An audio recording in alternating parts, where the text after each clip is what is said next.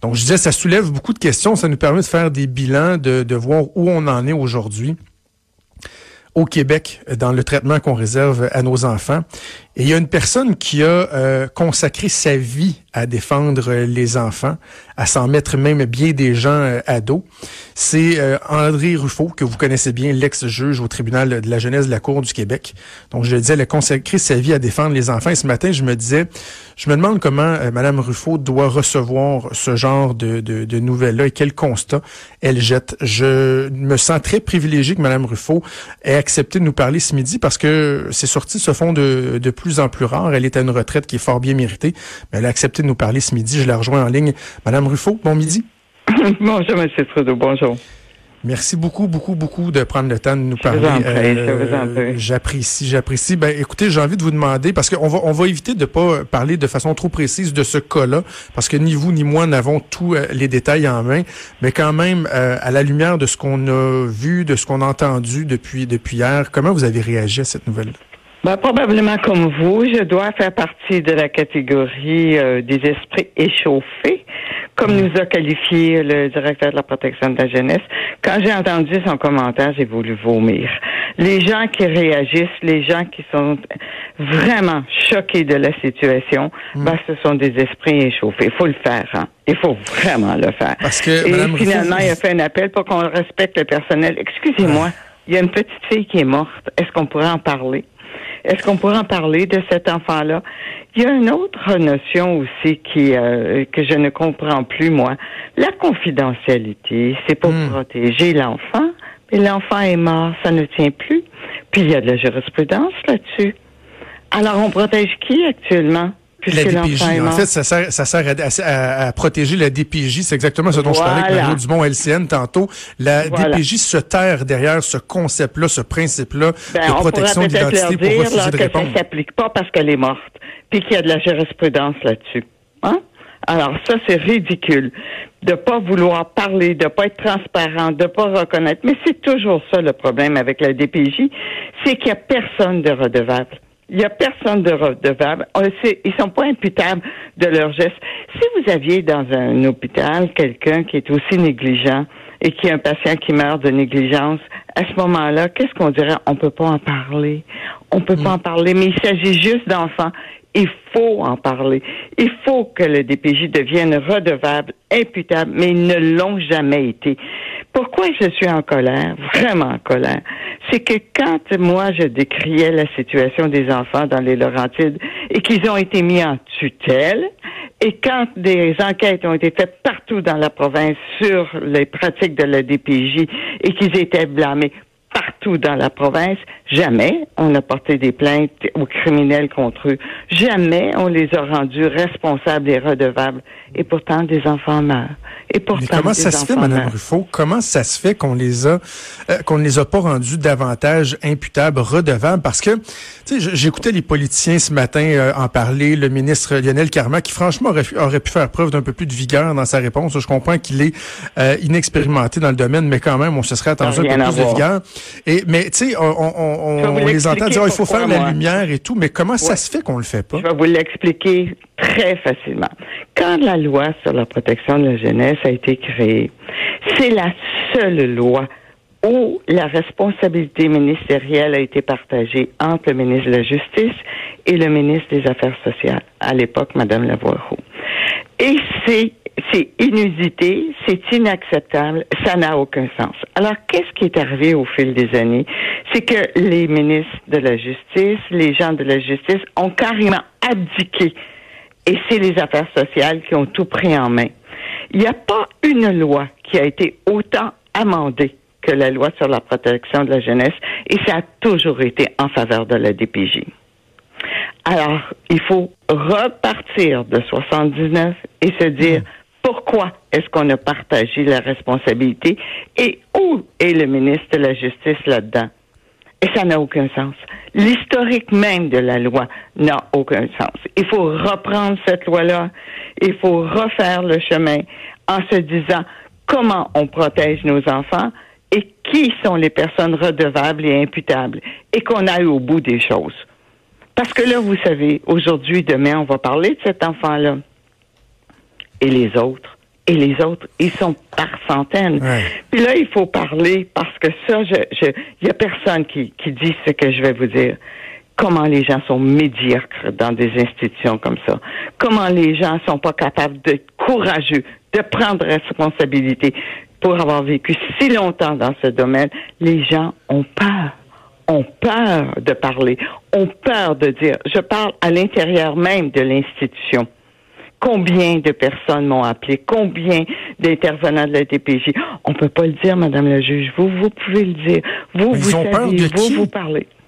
Ils ont peur de qui, Madame la juge? Ils ont peur de qui, ces gens-là? Ils, ont, peur, des autorités, ils ont peur d'être mis sur la tablette, ils ont peur de pas avancer, ils ont peur de la désapprobation des gens autour, ils ont peur continuellement. Et ça, il faut avoir accès aux gens qui ont maintenant quitté. Parce que les gens quittent et s'en vont travailler dans la périphérie, dans les écoles, dans ceci, dans cela, parce que ça ne fonctionne pas. Ça ne fonctionne pas. On a une personne de 20, 22 ans de préférence qui travaille sur le terrain. À ce moment-là, elle a un superviseur, qui a un superviseur, qui a un superviseur. On a une échelle incroyable de superviseurs, de superviseurs, de papier, de papier, de papier, et tout ça pour se protéger. Tout ça pour se protéger. Alors, on n'a pas de gestes euh, généreux. On n'a pas de gestes qui sont créatifs. On n'a pas de gestes qui sont, qui sont grands, qui sont nobles on a la médiocrité parce que c'est ça que le système a fait. Et quand des enfants meurent, on nous appelle, nous, les esprits échauffés, hein? puis on demande de respecter les gens qui n'ont pas fait leur travail. Excusez-moi. Quand vous parlez des, euh, des, esprits échauffés, vous faites référence au point de presse que le directeur ben de la DPJ de l'Estrie a donné. Ben oui, M. Alain Trudel nous a carrément dit qu'il pouvait pas parler parce que c'était confidentiel, est morte. Alors la confidentialité, on repassera là, hein, peut-être. Mais c'est mais, mais incroyable. il a dit qu'autour il y avait tous les esprits échauffés, qu'il fallait faire attention. Ça c'est nous autres, parce que moi je dois être un esprit échauffé aujourd'hui parce que ah, je suis vraiment en colère. Imaginez, il refuse même d'infirmer ou de confirmer qu'il y avait un, dossier touchant cette jeune fille-là à la direction de la protection de la jeunesse. La porte-parole qui intervient dans le point de presse pour bloquer les journalistes dans les questions qu'ils veulent poser, c'est carrément rire du monde. Et tu sais, je, je, je, pense, Madame Ruffo, là, par exemple, à, à, la, la, réceptionniste qui s'est fait insulter là, au, au, bureau de la DPJ en Estrie. Tu sais, je, je lui veux pas de mal à cette madame-là, mais elle devrait peut-être regarder ses patrons et leur dire, regardez votre attitude, le mépris avec lequel vous traitez les gens, et c'est vous qui attirez vers nous ce genre de commentaires-là. Jamais cette personne n'osera le faire. Jamais cette personne n'osera le faire. De toute façon, on sait qu'il y avait eu des signalements à la DPJ. Il y a déjà eu des condamnations aux criminels. On peut peut-être questionner le jugement du juge qui a donné une absolution. Moi, j'écoutais ça puis je me disais, mais c'est un film, mais c'est un film. Non seulement on a agressé quelqu'un, une personne, mais on a agressé une personne vulnérable et le juge nous donne. Et puis, le, ce que j'ai aimé d'un commentaire, c'est que le juge, en, reprenant le, le, raisonnement du juge, lui a donné une chance. Mais moi, là, je voudrais que, comme société, on donne une chance aux enfants de grandir, de devenir beau, de devenir grand, puis qu'il y ait un peu un destin qui leur convient. Mais non, on donne une chance aux parents abusifs c'est comme un film, c'est comme un mauvais film, c'est comme un cauchemar. Je pense que si on était sincère comme société, à ce moment-là, on prendrait cette occasion pour réfléchir. Pourquoi ça arrive? Parce qu'on est indifférent aux enfants, parce qu'on manque de courage, parce qu'on n'ose pas se lever, parce qu'on n'est pas digne de la confiance qu'on met en nous comme institution, parce que l'institution rabat les gens. C'est la, la, grande philosophe Veil qui disait, aussitôt qu'on fait partie d'une institution, on perd notre liberté. Mais notre liberté de décrier, notre liberté d'être horrifié, notre liberté de dire, des enfants, c'est pas fait pour vivre cette douleur-là, cette souffrance-là. C'est pas fait pour ça, des enfants. Mais qu'est-ce que vous voulez? Mais je pense qu'aujourd'hui, aujourd'hui, là, il faudrait pas que ça se perde. Il faudrait que demain, après-demain, dans une semaine, à ma connaissance, moi, à ma connaissance, à peu près toutes les régions ont subi des évaluations et ont été blâmées. Mais la région dans laquelle j'étais, où on m'a fait tant d'histoires, ils ont été mis en tutelle. C'est pas hmm. n'importe quoi. Ils ont été mis en tutelle. Alors, je pense qu'il faut repenser cette histoire-là en se souvenant de la naissance de cette loi-là, où la justice est disparue et les affaires sociales ont pris tout, tout, tout le pouvoir. Et si quelqu'un se donnait la peine, dans un doctorat ou autrement, de regarder la nature, la nature de, ces amendements, de, centaines d'amendements de cette loi-là, on verra qui ça profité. À qui ça a profité? Et comment des gens supposément responsables de la vie même des enfants peuvent être irresponsables, non redevables à qui que ce soit, et demain on dira, oh, il y a eu une négligence, elle est morte. Puis après, qui va être accusé ou criminel de ces gens-là? Pouvez-vous m'expliquer? Qui va être? On accuse les gens criminels parce qu'ils laissent mourir leurs chiens. Et ça, c'est pas, c'est pas une vue de l'esprit, là. C'est pensez qu'il y a des gens qui devraient être accusés? Mais on laisse des gens qui des enfants, puis il n'y a personne qui est accusé au criminel. Il y, a des gens qui non seulement devraient rendre des comptes, devraient, devraient euh, être redevables, mais vous parlez carrément de négligence criminelle. Ah ben oui, moi, c'est pour moi, c'est clair. Pour moi, c'est clair, clair, net et précis. Il y a des gens dans les autorités dans, qui devaient s'occuper de ces enfants-là qui devraient être poursuivis au criminel. Pour moi, c'est clair, clair, clair. Et c'est pas juste la DPJ. C'est pas un geste, vous savez. C'est pas un geste où un parent aurait donné une tape, l'enfant est allé rebondir sur un meuble. C'est pas de ça qu'on parle. On parle de martyr. Hein? On a martyrisé cet enfant-là. Carrément. Hein? Martyrisé cet enfant-là. Et il y a personne qui va être poursuivi. Il y a personne qui va être redevable. On va tous se laver les mains comme société, puis on va dire que c'était pas si important. Oh non, ça tombait pas dans la bonne colonne. Oh non. Je m'excuse, là. Il y a des l'école, il y a les parents. Puis les parents autour de cet enfant-là, ils en ont fait des signalements. Ils ont demandé de l'aide. Ils ont décrié la situation. Ils ont tous fait ça. Mais les institutions payées pour protéger la petite, eux, ces institutions-là, elles n'ont pas fait leur devoir. Parce que Mme Ruffo... Quelqu'un devrait être redevable et responsable? Euh, parce que Mme Ruffo, on parle de la DPJ, mais il y a aussi le, système légal des juges, la ben Sûreté du Québec s'est penchée sur le dossier. Pour le bénéfice de nos auditeurs qui n'ont pas eu l'occasion d'entendre l'entrevue avec euh, Karine Darcy ce matin dans l'émission du Trisac, je veux qu'on écoute euh, un extrait, un extrait d'une minute où Karine Darcy raconte que après avoir fait une première tentative auprès de la, de la DPJ, elle est carrément revenue à la charge en écrivant une lettre au juge qui était au dossier. Écoutez ce que ça donne. Euh, lorsque j'ai appelé, on, on m'a comme un peu mis de côté du dossier en me disant ça a déjà été signalé par les policiers, là, Madame Darcy, fait que là, on a tout le contrôle de la situation, tout va bien aller. Alors moi, j'étais quand même inquiète là, tu sais, de ce que je lisais dans les rapports puis dans les différentes recommandations pour le tribunal, etc. Alors je m'étais permis d'écrire une lettre carrément à la juge en novembre 2017, mm-hmm. comme je vous disais tantôt, pour lui nommer mes grandes inquiétudes envers ces enfants-là, puis aussi euh, essayer de lui apporter une vision là. Euh, euh, externe un peu du jugement, peut-être un peu biaisé de la DPJ, qu'en tout cas, moi, je chantais parce que... Et qu'est-ce qu'on vous a répondu au tribunal, Mme Darcy? Ben, premièrement, j'ai jamais pu aller témoigner. La juge, elle a, pas admis. Je crois qu'elle a pas admis ma lettre non plus. Euh, tout comme elle avait jamais admis les rapports psychiatriques concernant le père, etc il y a beaucoup de choses que je pense que cette juge-là, elle a peut-être pas pris toutes les preuves qui auraient pu être à, sa disposition pour rendre des ordonnances qui ont hmm. maintenu des enfants dans un climat de violence conjugale et de, de grande violence physique. C'est aberrant, Mme Ruffo, de savoir que et la Sûreté du Québec, en plus de la DPJ, et une juge a fait fi euh, des avertissements, des drapeaux qui étaient qui étaient levés par une personne comme Mme Darcy. Donc, il n'y a pas seulement la DPJ là, qui a erré. Là. Non. Alors, on peut peut-être se parler des juges, de la médiocrité de beaucoup de juges. On peut parler aussi des juges qui sont pas préparés, qui sont pas compétents.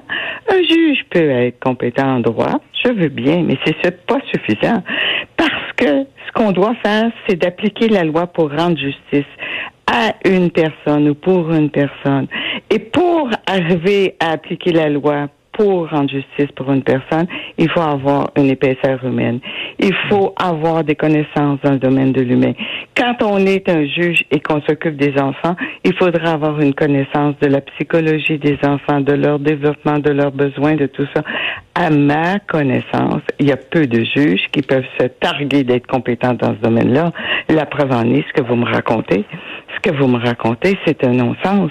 Puis on regarde comment cette personne-là qui vient de nous parler était responsable, comment elle a voulu assurer la protection à ces enfants-là. Alors, elle est malheureuse et en se disant, bon Dieu, qu'est-ce que j'aurais fait de, de, de, plus? C'est sûr qu'elle se demande ça, alors que le DPJ nous traite de, de, de, de, de quoi encore? Mais la juge, si j'étais à sa place, je serais très malheureuse. Je me poserais des questions. En quoi ai-je rendu justice à cet enfant-là? Elle est morte. Alors, est-ce que moi, je n'ai pas fait mon devoir?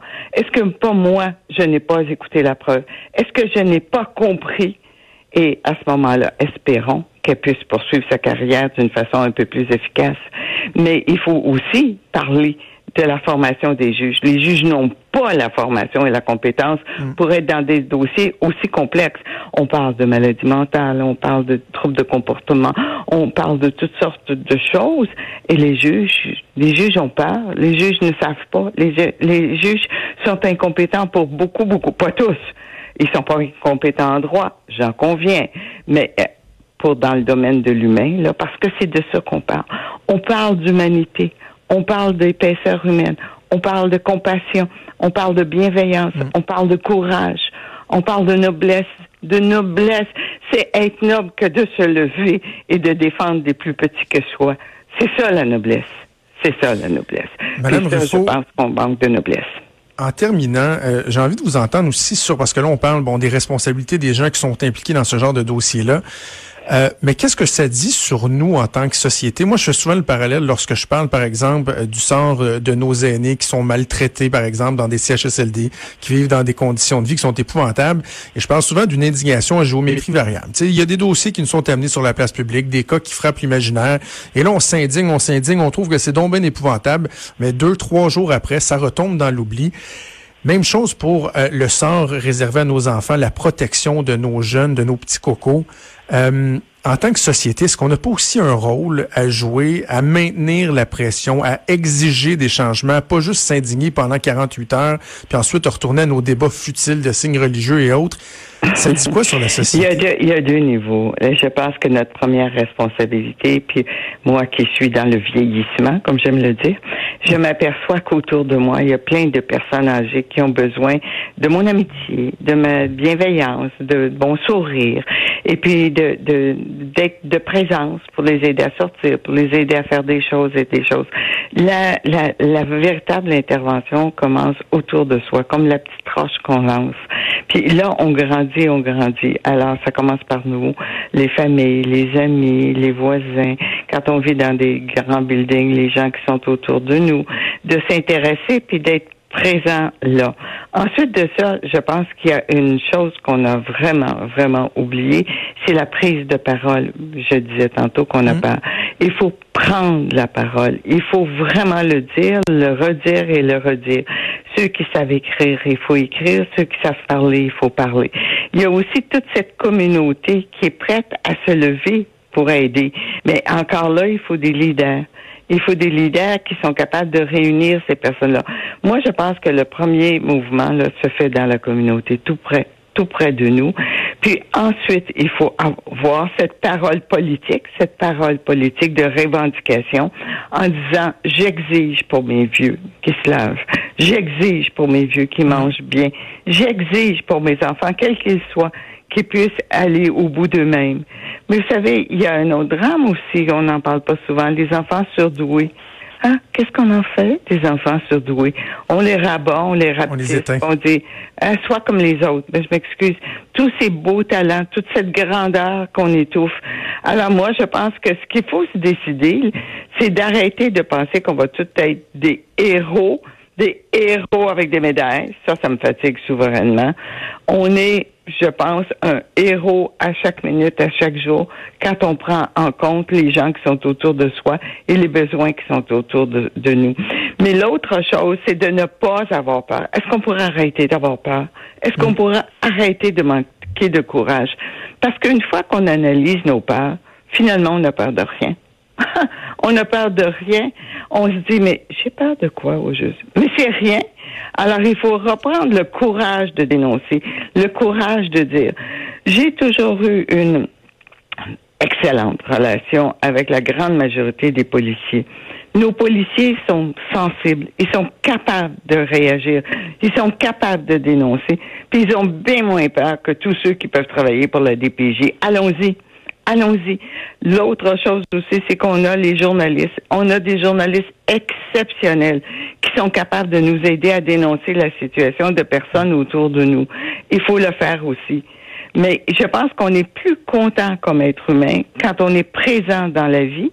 Ça ne veut pas dire qu'on est obligé d'être public. On est présent dans la vie et chaque geste qu'on pose, et moi, je n'arrête pas de le dire, chaque geste qu'on pose est un geste politique. On n'a qu'à exiger. On n'a qu'à exiger à ne pas tolérer les choses qui se passent, ou pour les vieux, ou pour les personnes qui ont des problèmes d'ordre mental, ou pour les petits. On n'a pas à tolérer ça dans notre société. Il s'agit de voyager. Moi, je voyage beaucoup, beaucoup. J'ai la chance de voyager beaucoup. Puis, on va un peu partout, que ce soit en France, que ce soit en Chine, que ce soit un peu partout. On vient chez nous pour dire, oh, mon Dieu que c'est beau chez nous. Mon Dieu qui fait bon vivre chez nous. Moi, je dis ça. Mais en même temps, je dis c'est pas facile quand on a besoin des soins. C'est pas facile quand on a des, des talents particuliers puis qu'on veut pas les reconnaître. C'est pas facile. Ben c'est notre travail à nous autres d'exiger que ces personnes-là puissent avoir réponse à leurs besoins. C'est ça notre travail.